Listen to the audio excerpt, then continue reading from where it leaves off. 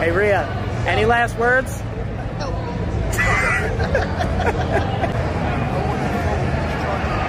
We're 30 minutes in. How are you feeling? Uh, it's not too bad. And then we start the shading. I can't do it. Are you done? Yeah, I'm done. Let's see it. It wasn't bad.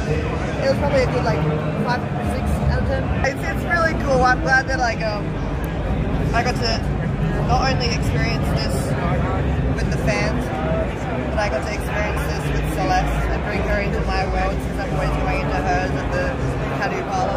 Also now I have a nice little reminder of WrestleMania XL, WrestleMania 40, and I have it on my body forever.